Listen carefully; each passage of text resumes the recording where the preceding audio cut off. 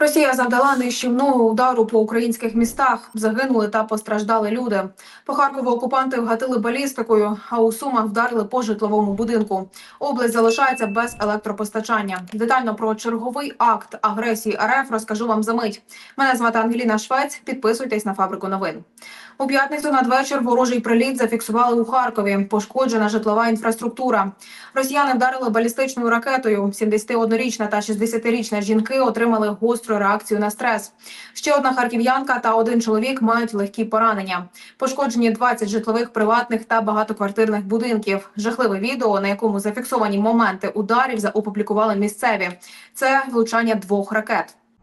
Ото що аж в ушах зазвеніло, просто зазвеніло в ушах. І вспишка, мене аж глаза запекли від вспишки. Ой, ще.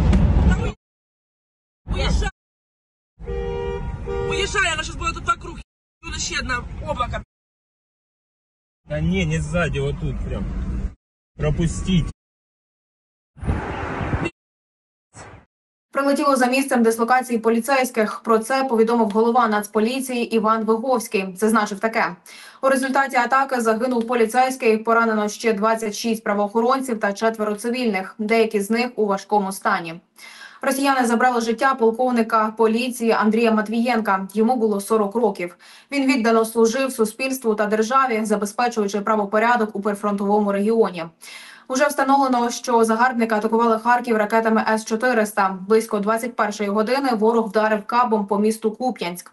Влучання прийшлося у п'ятиповерховий житловий будинок. Постраждали три особи: – 44-річний чоловік та дві жінки 68 та 75 років.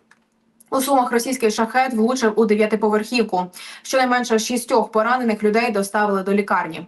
Одна людина перебуває у тяжкому стані. У решти поранення середньої тяжкості, серед них вагітна. Уточнили у міськраді Сум.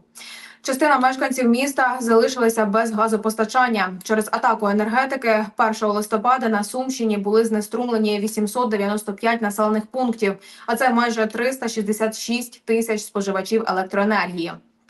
Станом на ранок сьогодні відомо про понад 200 пошкоджених вікон. На місці працює гуманітарна місія Проліска. У місцевій школі розгорнуто штаб з ліквідації наслідків надзвичайної ситуації. Четверо людей загинули, та ще четверо дістали поранення на Донеччині від російських обстрілів минулої доби. Повідомив начальник ОВА Вадим Філашкін. Загинули двоє людей та двоє поранені у сухих ялах. Одна людина загинула, та двоє дістали поранення в Юр'ївці. Ще життя однієї людини забрали росіяни у часовому яру. 237 ударів по дев'яти містах та селах Запорізької області завдала армія РФ учора, 1 листопада. Зокрема, 88 безпілотників атакували Лобкове, Гуляйполе, Новоандріївку, Роботине, Малу Токмачку, Новодарівку та Малинівку. Повідомив глава ОВА Іван Федоров.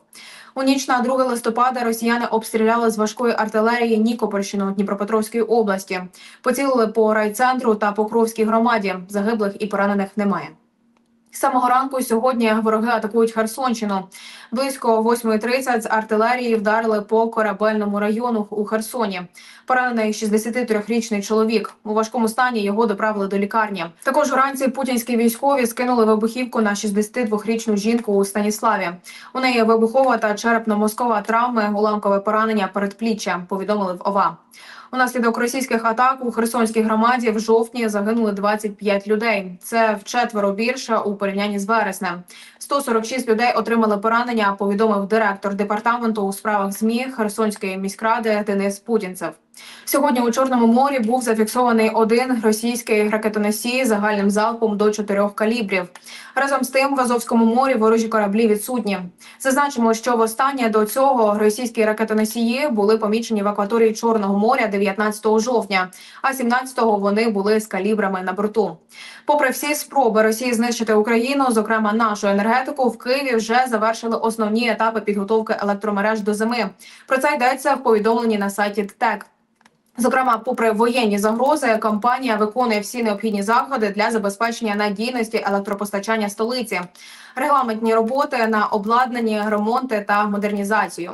В ТЕК зазначили, що компанія разом із міською владою готує інфраструктуру Києва до всіх можливих сценаріїв. Енергетики роблять усе від них залежне, щоб у киян був доступ до світла і тепла. Наведу вам цитату гендиректора ДТЕК Київські електромережі Дениса Бондара. Попри всі труднощі, ми підготували електромережі міста до зими. Наразі вони готові передати всю необхідну місту потужність у зимовий період. Для цього наші фахівці, зокрема, оновили 660 енергооб'єктів, підстанції, трансформаторів та розподільчих пунктів. Виконали 3924 ремонти кабельних ліній, а також розчистили 104 кілометри лінії від чагарників. ДТЕК був надійною опорою українців минулого осінньо-зимового періоду і зараз робить усе можливе, щоб пройти і цю зиму. Кінець цитати. Раніше повідомлялося, що ДТЕК Ріната Ахметова завершив ключові етапи підготовки електричних мереж Київської, Дніпропетровської та Одеської областей до проходження опалювального сезону. Щоб завжди бути в курсі подій, підписуйтесь на фабрику новин. Також долучайтеся до обговорення всього почутого у коментарях під цим відео. Я Ангеліна Швець з вами не прощаюся, адже ми ще зустрінемося на просторах Ютубу.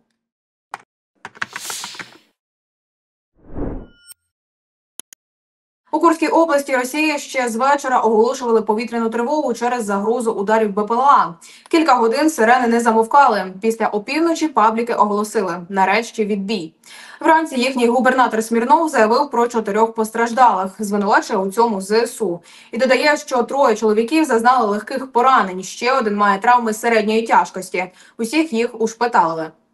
Міноборони РФ заявило, що за минулу ніч над Курщиною системи РосППО збили вісім безпілотників. Глава Біловського району, ніякий Ніколай Валабуєв, вкотре нагадав жителям про небезпеку на дорогах. Ризики та загрози зазначає через атаку дронів. Просить оминати шлях Абоянь Суджа від села Комунар до села Білиця.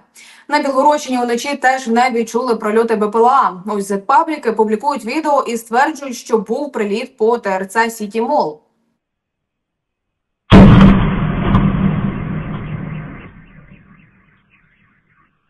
Ще пишуть пропагандисти про пошкодження у двох населених пунктах Білгородської області.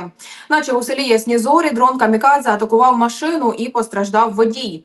Його з баротравмою, опіками голови, рук та ніг попутним транспортом доставили до місцевої амбулаторії. Транспортний засіб повністю знищено. А у Шебекіно продовжують звітувати путінські писаки. Осколками посічено сім машин на парковці одного з підприємств. Брянщина губернатор Богомаз від імені оборонного відомства РФ заявив про збиття двох безпілотних літальних апаратів над краєм. Додав, що постраждалих і руйнувань немає. До слова, вчора ввечері він звітував про знешкодження трьох дронів у небі над областю. Щось неспокійно у них зовсім. Вибухи раночком пролунали у Ростові. За даними Голубєва, хвилюватися немає причин. Це збивали БПЛА біля Новошахтинська. Ймовірно, Росія втратила військовий літак су 34 Про це вчора, 1 листопада, написав російський воєнкор, який тісно пов'язаний з авіаційною сферою у РФ файтер-бомбер. Причини падіння винищувача у своєму дописі не вказує. Варто зазначити, що Генеральний штаб збройних сил України поки не підтверджує ураження літака. Російська сторона про трощу теж мовчить. За даними російського міноборони, у ніч на 2 листопада у небі над різними областями РФ перехоплено і знищено аж 24 безпілотники. Звітують так: по 8 над Курщиною та Брянщиною, 3 над Орловською, 2 над Білгородською і ще по одному дрону над Ростовською і Нижегородською областями. А також один БПЛА над окупованим Кримом. Та от на півострові не вірять таким цифрам Рособорони. Партизанські пабліки зазначають, що пізно вночі жителі чули у Джанкої щонайменше вісім вибухів. Підписники переконують про три прильоти. Ще писали про звуки вибухів біля села Азовське, бахкало та виднілися яскраві спалахи у Красноперекопському районі. Гауляйтер розважаєв оголошував про загрозу балістичної атаки у Севастополі. У саках о 2.10 ночі теж чули вибухи. Тим часом у порту Феодосії розпочали підйом із дна знищеного українським ракетним ударом танко-десантний корабель Новочеркаськ. Дістають з моря частинами на фото уламки корми. Що ж, тепер це високоякісний металобрухт, чи не так? Нагадаю, що російський великий десантний корабель Новочеркаськ навічно закінчив своє плавання біля причалу у порту Феодосії 26 грудня 2023 року. Тоді бавовна піднялася знатна. Пригадайте. Это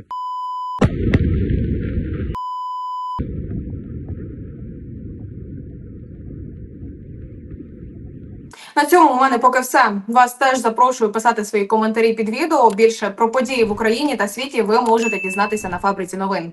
Не зволікайте та підписуйтесь.